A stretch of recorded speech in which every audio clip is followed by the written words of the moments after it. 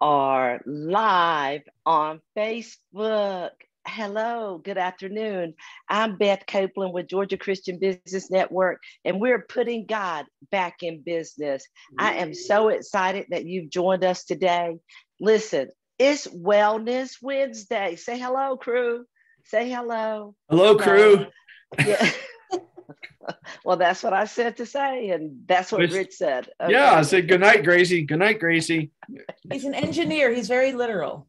Okay, uh, yeah. there we go. There yeah. we go. So as you can see, too. you uh-huh. are in for a world of fun, but not just fun. Today, we're going to continue our discussion on grief. In fact, in particular, we're going to talk about the six myths of grief. And I heard some things behind the scenes that are enlightening to me how things are ever changing about what grief is and it expanded, you know, the category of what falls under grief. So we're so excited. You know, we've got our regular host here. We've got Rich Oswald, who's an LPC, Pamela Bridgeman, who's an LCSW, and she her last name is Bartell, okay? And they are our regular hosts and they're GCBN corporate sponsors. This month, we've been privileged to have on our platform, yes, Jinnie Schmid, and she's a grief coach. She's an expert in this area. And we would be remiss. We, we you've seen that for the last three sessions and even today. What a value added resource, not only to the GCBN family as a member, but also to this platform. So expect that you'll see more of her soon. Okay. And I have something to share at the end of the program today about where you can also see Jinnie later this summer. Okay, but that's for later. But today, as I always love to do, because it's so important that you mm-hmm. know who they are, what they do, and why you really should know and care about that. So I'm going to allow each one to introduce themselves. You know, Rich is always supposed to go first. I don't know how Pamela set that up like that, but he is so obedient sometimes. Okay, so start out, Rich. I always thought ladies went first. That's what's confused me, but we're just keeping the transition or the not transition, the whatever the status format. Process. I don't know. Whatever. Format. I don't know. I can't come up with words right now, but you know what I'm talking about. Yes, yeah. but like Beth said, my name's Rich Oswald, and as you've probably, if you've watched a few videos, you know my name is still Rich Oswald. It's always been Rich Oswald, and probably will always be Rich Oswald, um, short for Richard. So I'm not wealthy only in name, not in financial stuff. Uh, but I'm an LPC licensed professional counselor in the state of Georgia. Run a counseling practice over on the eastern suburbs of Atlanta in a little town that's not so little anymore of Snellville. And I work with individuals, couples, families, helping them deal with uh, maybe simple conversation and communication things or recent trauma or grief to things that are much more long standing or if they're in really dire straits, helping those marriages and other relationships heal and move forward. Um, and my, I, I joke, I don't, uh, Pamela might say this too, but if people ask me what's your success rate, and I say it's 100% if y'all do your work, but I can't do it myself. So uh, if I had a magic wand, I'd charge you a whole lot more for each session, um, but I have yet to discover one or design one. So sorry, folks, you got to usually meet more than once, but every once in a while, once is enough. So anyway, caught me in an interesting mood today, but we'll we'll see where this goes. Pamela. My name is Pamela Bridgeman, and I'm a licensed clinical social worker. I have a practice in Northwest Georgia in a little town called Cartersville, uh, Georgia. I provide uh, emotional, mental health counseling, relationship counseling, and substance use disorder uh, counseling. I've been providing compassionate care since 1976. I am an ordained Christian minister and an Air Force veteran, a grandmother of two to one.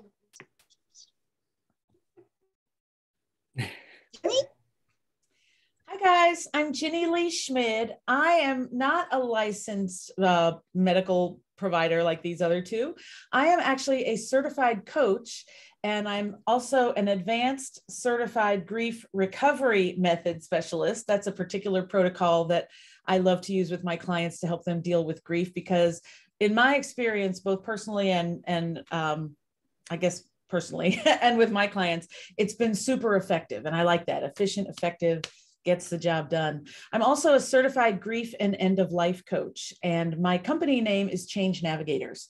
You can find uh, Change Navigators LLC or Jinnie Lee Schmid on Facebook and LinkedIn. Yay. I'm muted. Okay, awesome. Thank you all for introducing yourselves today. And I'm excited about today's program for, as I mentioned earlier, varying reasons. And because we're going to dispel some myths about grief. And this whole month, honestly, um, from learning about not a process, more of an experience uh, that is repeatable, you know, related to the same uh, trauma ties and experience. Um, and I'm talking Beth Copeland right now. So freeing, so very freeing uh, learning that about the drama queen, and I always say drama queen, but what is it, Jinnie? she means uh, Academy uh, Award recovery, which is when okay. we do our best job faking it and pretending that everything is okay, even when it's not. I mean, look at this. Look at this. I'm, I'm just talking about me personally. Um, in my long walk of years that I've been able to be blessed here and have actually experienced grief. And I've been I guess, accused of maybe having drama related to it. That's why mm-hmm. I can't get that out of my head. Rather than understanding, I really was uh, really walking through something that had been turned Academy Award um, in this field and didn't even realize it. So I want you guys out there that have joined us on Facebook Live to share with us this morning, interact. Uh, where have there been areas of your life that you believed that something else was going on when actually you were experiencing grief. And so, as they talk, I don't know who's kicking off today, who wants to recap a little bit about the month. I personally just shared a few things that were part of the recap, but one of you lend more value to that. And then I think Jinnie's probably going to kick us off with six myths. Okay. With her nice notebook and beautiful handwriting. Yes. Oh no! oh. Post-its. Where are my post-its? we'll see what we can do. Okay. Pamela, did you want to start by recapping what we talked about last week? That was such a rich discussion. Last Thank week, you. We, uh, we actually talked about uh, whether or not Christians should grieve. Uh, with Georgia Christian Business Network, we often want uh, to focus on, on the Christian worldview although obviously uh, this applies to any worldview. But uh, in fact, one of the myths that come up, it, it's not necessarily one of the six that Jinnie is going to talk about, is that Christians or people of faith should not grieve. Uh, and, and I can only talk about the Christian faith. Uh, and the um, holy text that we use, the Bible, says in uh, First Thessalonians. Not that we don't grieve, although that verse in the King James and several other versions starts off, "We do not grieve," and people stop right there. Uh, and uh, as a language arts, uh, former language arts teacher, I would encourage you to read further. It says, "We do not grieve as those without hope." So it is not that we don't grieve; we grieve, but we grieve uh, with, with hope. Uh, and so at the conclusion of the matter, after observing that uh, Jesus Christ himself wept at the uh, death of his friend, even though he knew that he was going to raise him from the dead, he still mourned him. So at the, you know, uh, at the conclusion last uh, week, we said, yeah, not only should Christian grieve, but I love the way uh, Rich put it Rich talked about uh, it being a necessary part of the healing process. So that if, if you uh, deny yourself the right to grieve, then you truncate, not only truncate, you completely sabotage your ability to, to heal. So whether you are a Christian or, uh, or any other faith or no faith, uh, grieving is absolutely uh, important. Um, in fact, and I'll close with this, uh, one of the scriptures in the Old Covenant says, Ecclesiastes uh, verses 3 to 8 talks about to everything there's a season and a time for every purpose under, under heaven. And verse 4 specifically says, there is a time to breathe. There is a time to mm-hmm. I love that we had that discussion because one of the things I, I hope to offer women in the coaching I do, grief coaching and growth coaching, is freedom. And as Christians, we're called to have freedom in Christ. And I think when we don't acknowledge that something like grief is a natural, normal part of our life here on earth, and we don't accept it, we're shutting down some of our freedom in Christ, you know? So I just love that we had a chance to encourage um, Christians that are listening to this. And also I have a heart, I, I, primarily work with, with business women, you know, business leaders, high performers. And I think a lot of the folks that we have in the Georgia Christian Business Network, you know, put that burden on themselves in addition to their grief, right? To, to not be, that, that they can't perform as well as they're used to when they're grieving. So I just thought that was such a rich discussion. And I'm so glad we had a chance to hopefully change some perspectives and open some minds to that. Mm-hmm. For sure. Yeah, good summary, Pamela. Appreciate all that you had uh, put together there. So excellent. We Christians do grieve. It's and language arts, context and full complete sentences matter. Right. Mm-hmm. Absolutely. Absolutely.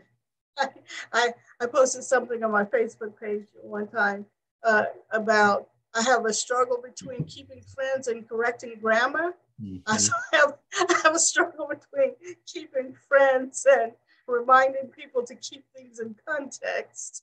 yeah. Yep. Yep. Yep. Well, I especially love that you led that one, Pamela, because with your background as I heard you say you're an ordained minister, I love that you pulled out, you know, you went beyond the the scriptures that some of us might know on the surface, right? And and pulled out some important additional concepts and scriptures for us. That was awesome. For sure. Oh, we're going to talk about myths today, are we, Jinnie? I think we are. So, um, the context for this comes from the grief recovery method. You can see that my handbook is very well worn. This is called the Grief Recovery Method Handbook. It's avail- available to everybody on Amazon or by contacting me. And um, so, there's an organization called the Grief Recovery Institute. And they're the ones that came up with this method over 40 years ago. And it's been used around the world very successfully for thousands and thousands of people. And one of the things they've done that's really helpful is they codified a lot of our sort of cultural standard beliefs about grief and, and kind of figured out what's wrong or ineffective about those and come up with you know ways to help us move past those. So one of the things they've articulated is six they call it six myths about grief. To take it down a little more granularly, I've come to realize these are the six myths that teach us how to deal with grief. And they're not the, the most effective ways, but they're the ways that are sort of on the, the ways that we've all been taught throughout the years from the generations before us. So sadly, they don't work very well, but we all keep reiterating them from generation to generation. So there are six of them. Um, and first of all, before I launch into that, I wonder if do either of you guys have anything you want to say about grief, grief, and uh, excuse me, about myths about grief before I share this list from from our perspective? I believe that Pamela addressed one of the ones uh, that is most among Christians most discussed back and forth um, and tried to see where one would land. But I wanted to share Hebrews 5 7. We talked about, and you hear often that uh, Jesus suffered uh, and he became obedient through the things that he suffered. But if you back it up to read Hebrews 5 7, and if you would read it from a translation probably other than King James, which I will for you right now, which is my favorite, then you'll be able to hear uh, in the days of his flesh, Jesus offered up prayers and supplications with loud cries and tears to him who was able to save him from death, and he was heard because of his reverence. Um, I think that is so key for us to understand uh, to what magnitude Pamela shared Jesus wept. That is such a powerful scripture. And to validate the fact that he grieved.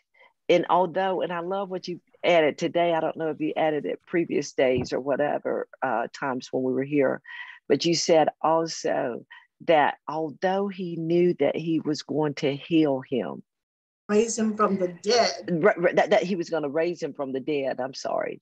Um, noted.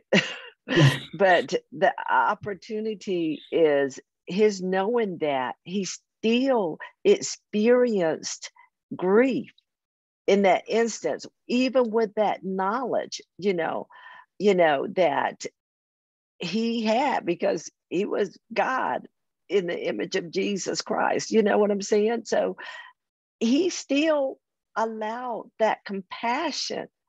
And i was like oh my god the emotion was felt and he he engaged the emotion. May i say that yeah. and and, and does that not give us permission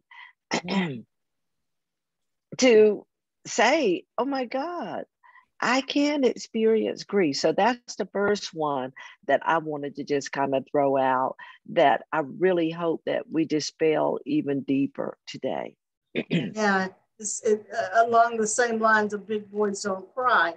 And I hope big boys would cry. Yes. And I hope that all of us would grieve. Tears are tears are cleansing. Tears are an indication of of what it is that we we are experiencing. So yeah, big boys cry, and people of faith grieve uh, as well. You know, and I don't know, Jinnie, if you're going to address the the just get over it Yes. Yeah. The the there's only we should only grieve for such a, uh, this amount of time and then just get over it. But the whole just get over it means it's it's like uh, or or the other one is a, a very to be a very clinical term. You need closure. Well, with regard to this, closure indicates being bereft being left without uh, feeling or remembering the bond that you had with that individual that you lost, which leaves you lonely and sad, which is akin to just kind of stuffing it under. And you wonder why, for the rest of your life, you may have a little low grade depression. Well, because you, quote, had closure in, in that regard. No, you want to have a healthy remembrance, a remembrance. You you look back over and you celebrate the bond that you had with with that individual, with that job, with yeah. you know whatever that loss is. You look back and you celebrate that bond that gave you such uh, joy during the period of time that uh, the person was alive or you were at that particular job or whatever. So yeah, closure is is overrated. Uh, so, uh, remembrance oh. with hope is what we yes. want. I have a new C word that we're going to replace in pre- we're going to use instead of closure if if anyone wants to join me. And I'm going to make Rick really happy because look, I wrote it on a thing. Can you see? we don't want closure. What we want is completion. And let me give a word picture that describes the difference. Closure is like one of those big metal, uh, big wooden medieval doors slamming shut. You slab that bar across, never to be opened again, and you walk away and you don't look back. Well, nobody wants closure when they've lost their grandmother or their right. spouse or their child. That's not, I think that's part of the thing that keeps people stuck in grief. So, what we want is completion. And the word picture there is more like a revolving glass door. And again, that goes back to freedom. I want people to have the freedom to tap into those memories whenever they want. Frankly, to tap into some of the sad memories and maybe enjoy a cleansing cry, but not get stuck there. Yes. Um, in addition to memories, there's lessons learned. Like, let's say you're getting completion on a difficult relationship with a partner or even a family member. You probably learned some difficult lessons and new skills and behaviors by learning how to deal with that person. So I think we want to have access to those too. So that's I like that. I like that. I like that. Thank you, Jinnie. I like My that. My pleasure. Well, thank you guys because you've we've already touched on three of the six myths, and I can barely decide which one to start with because first we'll say something and I have my little thing ready and then we'll say something else. Rich, you can see I'm donating my file folders to the cause since I didn't. Oh, yes.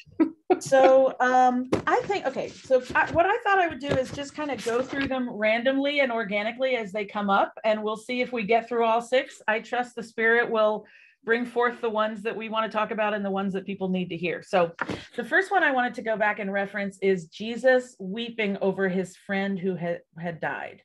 And I want to note that he did that in community, right? Like he wept openly with all those people around him were, who were also grieving, because one of the myths is grieve alone. And that little, you know, do not do sign, that's to show that these are all myths. These are not things we're advocating, these are myths. So grieve alone is what some of us grew up with, like boys don't cry, right? Be a be a big girl now. Some people may have grown up in families that said, take that stuff to your room. You know, you don't do that in public, right? Mm-hmm. Um, the kind of admonitions like don't let anyone know what's going on in our family outside the family circle, right? So all of that teaches us to grieve alone. Nobody said the words grieve alone, but we're shown by example or the way we've been corrected. And so that's the first myth, which I think is very dangerous. And um, something you said, Pam, reminded me of a, a phrase that I'm starting to use, which is, oh, you know what? Which is something I should say for another, another one of our myths. So I'm not going to mix messages here. Forget I said that. Let me instead pause and ask you guys what you think about grieve alone. Is it dangerous? Is it helpful? Why do we do it? Yes. It can definitely be dangerous, and there's times where we grieve alone, but it's not the only thing we need to do for sure. That's the requirement that says you can grieve only grieve or grieve only alone, and then that's going to trap you in yeah. the kind of stuck place. We grieve in community. But the challenge is, you know, some of the myths they're said in a society that they don't know what to do with grief as a community. Yeah. So they kind of push us to be alone in it. And I think sometimes as the whole culture can be one of more individual independence rather than community. I think US culture has a flavor of that of it's been made the country very successful in lots of ways, but it's also made some of these interpersonal and intrapersonal issues more challenging to deal with so yes, grieving alone, kind of times where you go by yourself, where you're really not even alone. I mean, I mean, Jesus grieved, but I think he grieved at times with just his dad, that he wasn't completely alone. We can do that as Christians and go meet with our dad and say, "Hey, this is really hurting, and I don't understand this," or or I don't really like this, uh, but it, it did happen. So help me grieve, you know, and recognizing because Jesus wept God weeps as well. I think God wept when his son was killed and t- taken from him in the process too. So he knows the Heavenly Father knows what loss means as well. So, but yeah, don't don't grieve alone. But it's challenging to find a grief recovery where people honor the idea of grieving in community. That's sometimes the difficult part. Well, yeah, but who do I go to? Because a lot of us don't know what to say. So we if we do say something it's sometimes not very productive. It's actually sort of like Job's friend but so, what was that? it's a sort of sort of like Job's friends. Yes um, exactly don't know what to say. But uh, to Rich's point introspection uh, can be healthy and needful but when introspection becomes navel gazing then it can cause you to cut yourself off, to isolate uh, from others. And uh, we were never meant to be isolated. One of the things that that I do when I uh, perhaps suggest couple counseling or I suggest family counseling or uh, I suggest group counseling to someone, I remind them that we actually learn to misbehave in group, to misbehave in relationship, very true. Therefore, it is important for us to learn how to behave in a healthy way mm. with group or with another another individual. Mm. Right? Good point. I, I would like to add to what a couple of what both of you said um, as I'm listening here. First of all, Rich said three words that I believe anyone that's challenged with uh, not being able to feel and experience the freedom of grief has to hear or have validated because and i'm talking this personally i'm walking through this stuff and i'm just totally getting receiving and embracing more and more freedom. But the three words he said is it did happen and that was the whole issue i think that pamela and i worked through with my accident because the other parties were saying nothing happened but it did something did happen it did happen listen mm-hmm. my body tells me it happened you mm-hmm. know and so you get caught up in you know even though and although i knew it happened just hearing that that it did happen that was a, and then having to do endure whatever pain may have been happening physically or from other components related to. So that's one point I wanted to make. The other, I'm sorry, I'm so slow today. I'm having to write everything down I'm thinking while y'all are talking. But the models, what Pamela was saying, and Rich started with society and the models, I'll never forget. And I just remembered this just when you were talking, but over the years I played it back. Way back when President Kennedy was assassinated. I never forget my father figure, my father, making a comment of uh, admiration towards Jackie Onassis. Well, the first lady that it wasn't Onassis then, but yeah, of how her and even the young kids went through went to that funeral and never shed a tear, and that's the way you're supposed to do it. And so sometimes that shapes and I don't know if Jinnie, I'm going too far in something that you got later this year. but that model shape for me that if I cried at a funeral, that my daddy, and then you know how we relate our father figure to Father God, he doesn't want me to be, you know, and all that. And he just went on and was at it was admiration for her position and her strength. And so I took that to mean, you know, and even the little kids, you know, it was like, oh my God, this is what you're supposed to do. And you're not supposed to be feeling anything any sort of way, you know. And I, he never, I guess I was too young, but I never had a conversation with me. Did, did she care? Did she cry at one point or some point or what? You know, that's so, just what I got. What's interesting was my mother helped us to get something different out of that experience.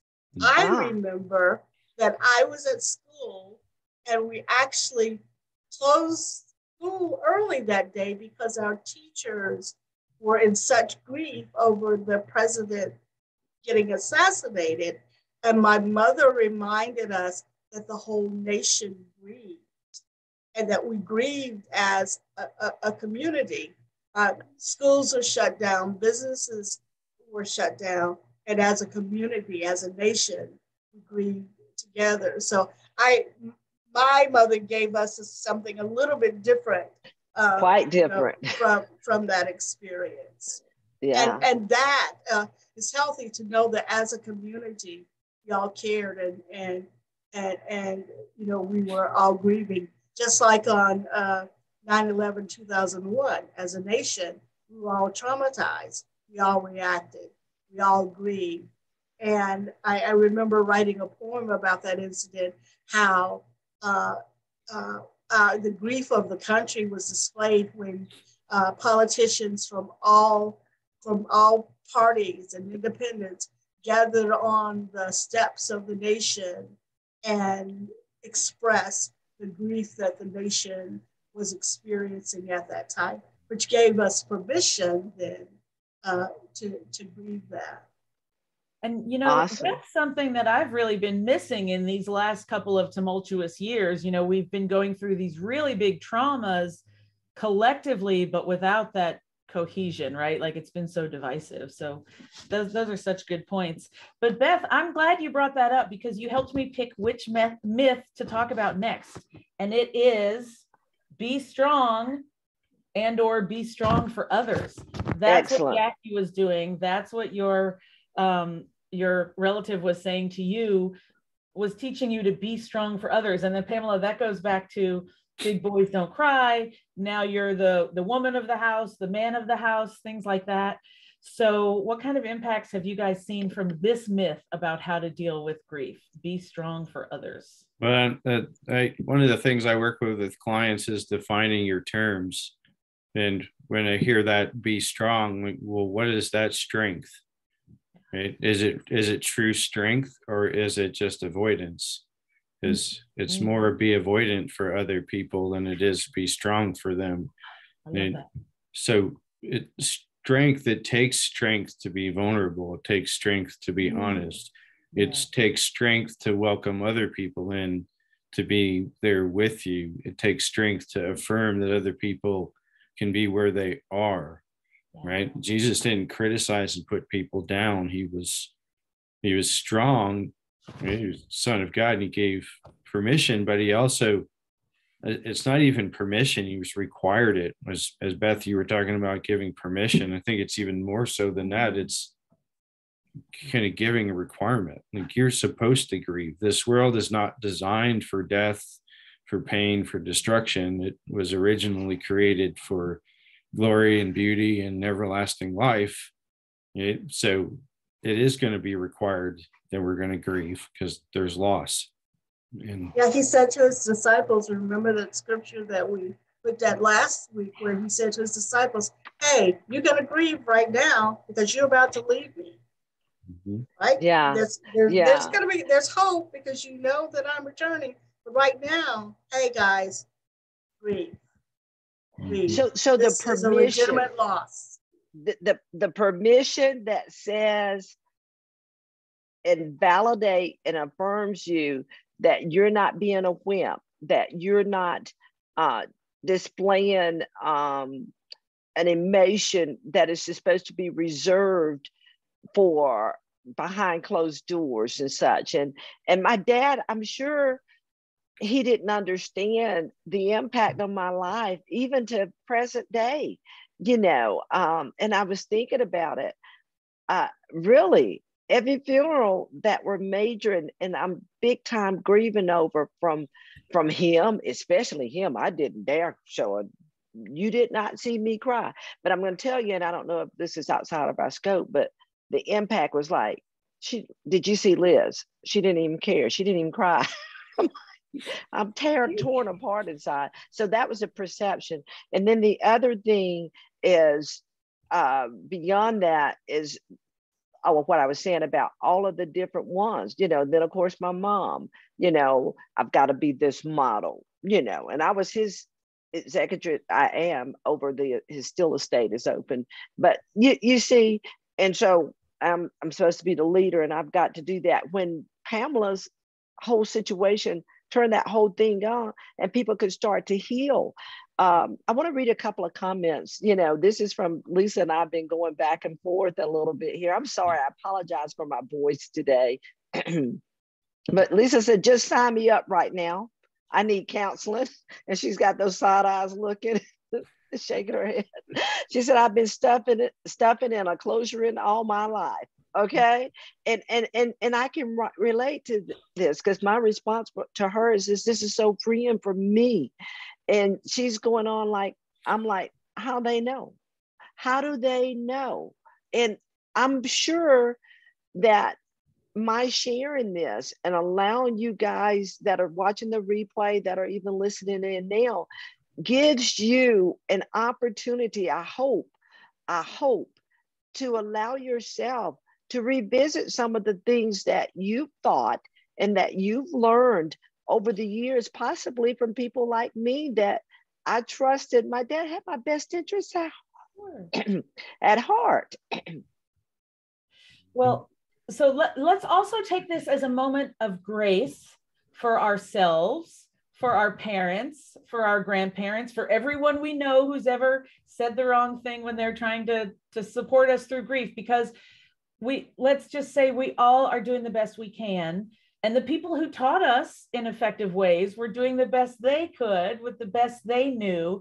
So um, what I think is we all have an opportunity to sort of get in on the revolution. And the revolution goes back to something you said, Rich, which is let's not use the phrase be strong anymore. Let's use the phrase be human.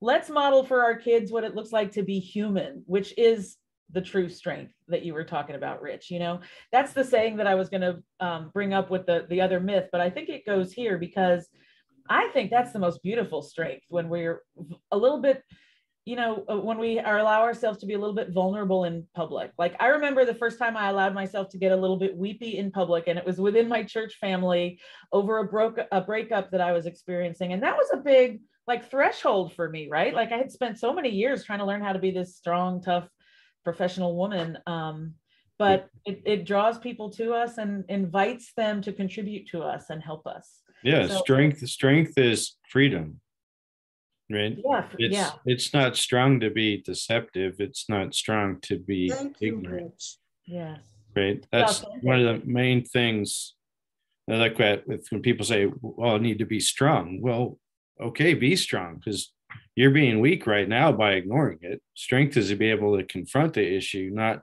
to ignore the issue anybody can walk away and hide from it but not everybody can face it, right? And courage isn't the absence of fear, it's strength moving in presence of fear.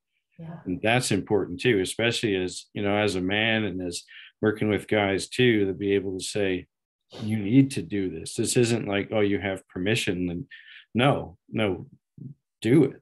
You, you this grow in strength. Tell the people in your head or around you that that's a lie to be strong is to be dismissive, right? To, to ignore. That's silliness. Jesus never ignored anything. He was be, be more like Jesus is to be more comfortable with who you are. And if you're comfortable with who you are, you're comfortable, like Jinnie said, of being human. And humans experience pain, and humans experience feeling out of control, and humans experience being overloaded, overwhelmed, confused, right? That that angry. is angry. Don't forget angry because yes. we don't we don't want to be angry. Right, anger is anger is bad. Yeah, right. Jesus was never angry. He was happy and smiling when he was flipping tables over and right. he was telling jokes and enjoying himself. Or when he was sweating drops of blood. See how silly that sounds? It's it is silly. That's the thing. It's the lies of the evil one. I think he gets in there and twists stuff around and makes it upside down right? When the truth, Jesus said, is everything he came to say is upside down from what the world said. That the world was upside down. If so, if you do the double negative, his stuff's right side up, right? So well, the fact that we're made in the image of God just came up for me because we're mm-hmm. so scared of letting our humanity show, but our humanity is made in the image of God. We're reflecting mm-hmm. God's nature. So I just, again, grace for all of us, but also permission let that be what we model to our fr- our peers and our friends and most importantly our family that's growing up behind us so that they can have some of that freedom to be human to be human and to experience grief in the healthy way that helps yeah you yeah and you bring up a great thing too Jinnie when i talk with people especially guys about emotions right and i and i say well because some guys will say well i'm just simple right? There's just a few emotions. and I don't need to say all of them, but there's just a few, a handful of ones that it's okay for guys to feel, right? Um, and then I say, well, whose image are you made in? Right? And then the gods, I said, well, is God simple? No. So then stop, tell, stop trying to tell yourself this stuff because you're make, kind of slapping God in the face to say you're simple. You're bearing His image, and He's not simple. So can we get out of that silliness? No, something that came up for me a little earlier in the conversation was the fact that I think what we we try to learn from God's word is always and and both, right? It's not black and white. There's nuances. There's um, different ways to behave according to different situations and things. So it is complex, and figuring out how to be human is complex. And so, yeah, those of us who who do that in uh, in collaboration with the guy who designed us, it's not always easy, but at least we're getting some some of that guidance. Mm-hmm. I, I believe the opportunity to is is being human is the roadmap for successful living is outlined in the Word of God. We've got it right here. The, the opportunity for us is to understand how to rightly divide the word of truth. Let's go with being angry and sin not. You know, yeah. um, because he was. How could he be? Oh, I'm just happy and I'm just throwing over a table. you know, really?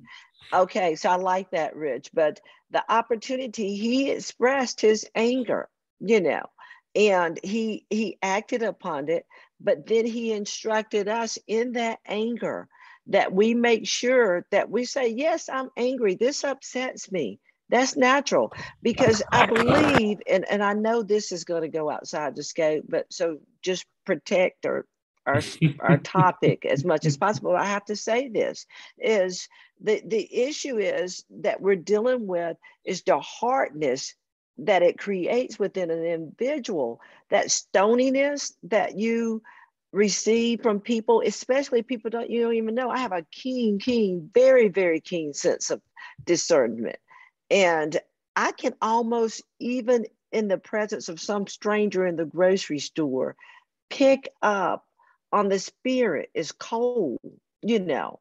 Mm-hmm. Um, and I think that is because of so much that has been bottled um, inside that is not able to get released. So, okay. That's not outside hand, of the scope of yeah. what we're okay. talking about. I mean, we said okay. earlier, part of what happens when you go with this quote closure myth as opposed to completion myth is that you it does it gets it gets covered up it gets pushed down uh, and the unfortunate thing as my mother used to say is if it doesn't come out the right way it's going to come out sideways and you know it, it it's going to be uh, very very uh, destructive and harmful to yourself and to relationships that you have Mm-hmm. And, and so that's not outside of the scope of work. Okay. Oh, not at all. We we use the image, or I use the image of a pressure cooker, you know, and the fact that grief does not use well sometimes your grief will not dissipate naturally. It takes some actions like by going to see an expert like like we have on the panel here for some support to work through it. Time well this leading into another one of the, the myths time does not heal. It's time is not a magical elixir that will make it go away by a particular milestone. So we talk about that pressure cooker and we also say grief is uh, unresolved grief is always cumulative meaning every little grief experience is getting shoved in there into the mix and it's always cumulative ne- cumulatively negative. So the pressure cooker just gets heavier and heavier and more likely to blow if you don't um, have some effective ways to release some of that steam and and actually resolve some of those things. So i guess i was going to move into a different myth but i guess the next myth is time heals and I'm actually a little spun up about this one, guys, today because I saw a news article um, sometime last week that talked about how what they call prolonged grief is um, in the DSM 5, which I'll let one of you guys explain, is now categorized officially as a mental illness. And just as a preview, that does not sit great with me because I think grief is natural and normal. I don't think the 12 month mark has any magic to it.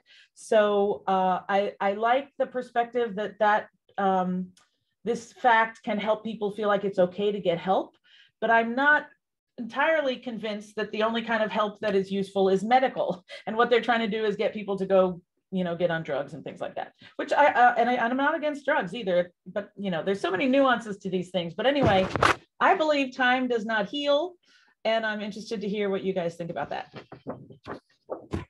It's one of the things i have to uh, sometimes convince people of that time doesn't heal. Whether we're talking about a grief a trauma a poor training experience whatever it's things in the past and one of the phrases my wife and I have used is if you bury things alive, they're still alive. They're just buried. Right. So it does it doesn't doesn't kill them, it just buries them. So you try not try to pretend it's not there. And it is kind of like a pressure cooker. Eventually it will show itself one way or another. And it usually comes out like Pamela said or mom say is if it's either going to come out the right way or it's going to come out sideways. And a lot of times it comes out sideways when you don't bring it out uh, correctly and then people come into us and say, well, I don't know why I'm doing this. okay, well, let's look at it. And you go, oh, well, that thing happened back there. And you, what did you do with it? Well, I just ignored it. Oh, so that's just coming out sideways now. So, okay, at least we know what we're working with. So let's go back and bring that out in the correct way. That's really important. And so time doesn't heal anything really. It, it, we, we get over grief things even when they're small. I think we go through the experience and sometimes it's really quick right? Some sometimes it's not so much but you know if you if you bump stub your toe it's going to hurt but eventually you can get past and through and address all the experiential parts of bumping your toe and whether it's the physical pain the emotional pain the self-criticalness whatever you may go through you get to the point of of whatever completing it or you yeah all time does is put distance between uh, the incident, the, the event. and sometimes that's not even. Yeah, it's not even that much distance. It doesn't get it. The distance sometimes doesn't even get any bigger. Right? Chronologically, it does. Emotionally, it doesn't. Well, that's what I'm talking about. Yeah. All it does is put, and and if you think of it in terms of reaching, you know, it just makes it difficult for you to reach True. and retrieve what you need to retrieve yep. in order to have completion. Good point. Yep. So, I mean, you know, think about it, people. We all know time ain't doing our bodies any favors. time ain't doing cars any favors. There's a few cars still running in Cuba that have been there since I don't know when, but you know, wine and cheese are the only things that get better with time. So let's get rid of this myth about time heals all wounds. but Rich, something you said made me want to pause and let's get real about the costs about grief, unresolved grief. So a few things. Number one, like you said, Rich, um, all all all events in, in life can cause grief, but they're not all going to cause the kind of grief that get us stuck, right? Like um, uh, uh, you know, moving jobs or something like that may not strike a person as being really heavy for them. So we're not all going to get stuck on everything but there is a lot that goes into the pressure cooker. And the way I think about it, you can either have an explosion or an implosion. Mm-hmm. An explosion might be um, triggering a substance abuse problem. It might be triggering violence. It might be triggering something like a divorce, right? And an implosion might be like all of those health problems or extreme withdrawal and relationship problems. So the other thing is we need to we need to understand that the long-term impacts of not healing our grief have pretty significant costs that we don't think about because they might be 20 down 20 years down the road. But if you just sit there expecting time to heal and those 20 years pass pass you may be ending up with a different and significant problem that you were thinking you were getting rid of by just pretending it hadn't happened. Mm-hmm. great for sure. I think a lot of the psychosomatic for the fancy term right is the the psycho, the psychological, the soul, and mental issues, and somatic and the physical, it shows up. We bury those things, and people have chronic illnesses or uh, a, a, a, um, specific critique. Or, what is it? Acute. There we go. Got the right word. Uh, acute uh, problem, and we can sometimes trace that to uh, a psychological event that's happened or a psychological uh, complex you know situation they're in and their body's telling them right It's that, uh, what's his name uh, the big trauma guy I'm blanking on it that wrote the book the body keeps score oh burn yeah, I can't. Right now. uh, I have Jeff Van Vonderen coming to mind, and it's not correct. Uh, another guy kind of let that uh, something Vanderbilt. Eastern Europe, Northern Europe name or whatever it would be. We're going to need show notes for this one, Beth. We're going to have to look up the author and put it in the comment. yeah. Exactly, and I'm Pamela's sure Lisa will. He, he, has a book. he uh, has courses out there. I, it's on my list of courses to take. Uh, it this he connects the trauma and the body, and it does keep score, meaning we carry those traumas, and it can be cum- cumulative loaned well. it to someone. Did you find it? No, I loaned it to someone. Ah, I, it'll probably come Bessel to me in a moment. Van, Vandercoat. There you go, Bessel van der Kolk. Yes, yes. okay. Another van okay. thing that I was wrong, wrong van. He was driving something different. Just go. Uh, yeah. Remember, we well, are mind, body, spirit, and yeah. each one uh, impacts uh, the other. I was sharing with someone this morning in a session. I was encouraging him to do what I call create a sanctuary in your mind. Uh, we do guided imagery. I think I did it with you guys once at God, Golf, and Girls. Beth, but you create in your mind a safe place and you use all five of your senses to take you to that place. And when you do, it also causes your body to relax because your mind is connected. We're made in the image of God, triune God, and we are triune beings as well.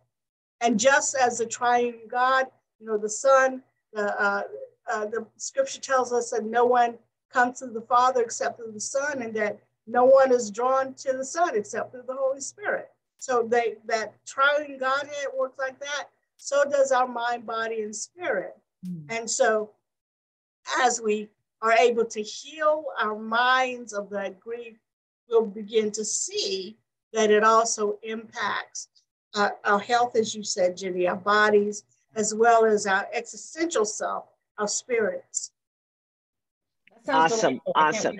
I, I, I'm sorry. Yeah.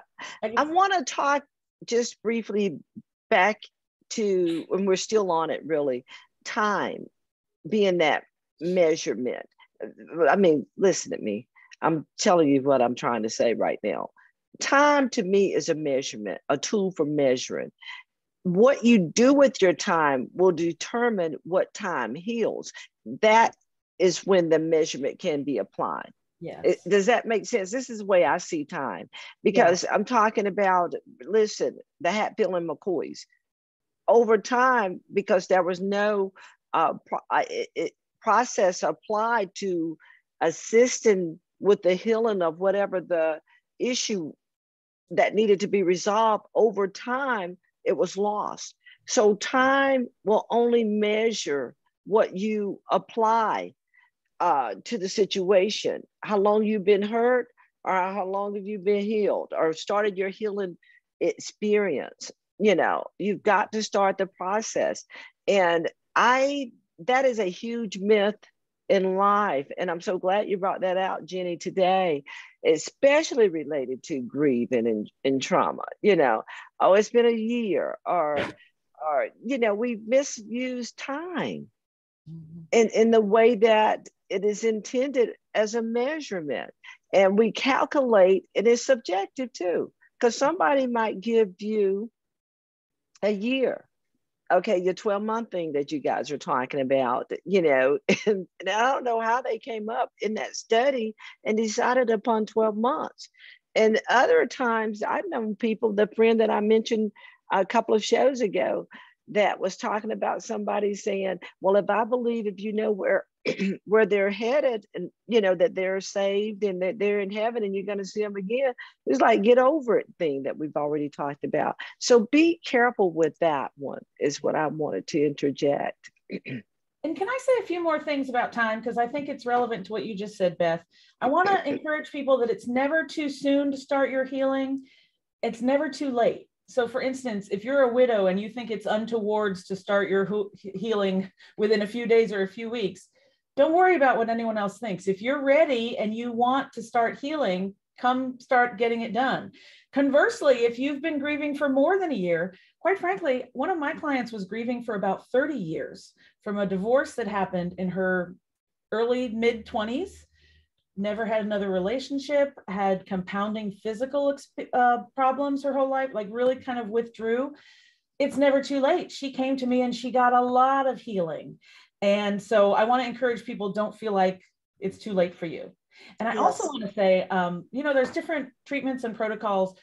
My particular program, we you're going to feel significant healing after about 12 hours, right? Like that's not even one day. Do you have 12 hours to invest in your healing? I believe you do.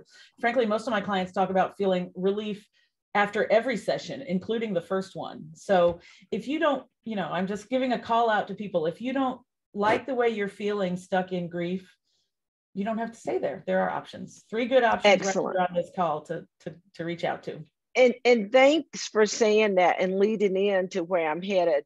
Uh, because it's so important as we close the show today. I even got some feedback from someone, Jinnie, that I referred to your uh, seminar, I believe, on yesterday, or uh, mm-hmm. it was great opportunity, and it was an affirmation. Although they may not move forward right now with the coaching, is what she was saying to me, but it was such an affirmation uh, to the things of what to say, what not to say, interact. And this mm. was dealing with children.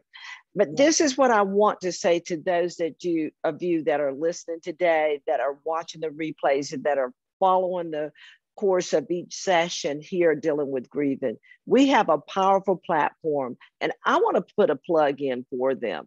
If you are any way challenged in some regard that we're talked about, even this month on grieving, or even outside of grievance, maybe narcissism or other opportunities um, that you're dealing with, people with narcissistic behaviors or whatever it is. These people here that are on this platform, I want to tell you they're tried and true. Can I say it like that? These are, they are professional and they can relate to you uh, it, from a uh, spiritual component or really, I'm just going to leave that right there because that's what you really need for healing. This Beth Copeland's in it. okay. But they take clients, you don't have to be a believer uh, to be able to go to them. But I would highly recommend it. And I'm assured that Lisa's got the information. And thank you so much, Lisa, for mentioning the post over there today, over in our Facebook Live group.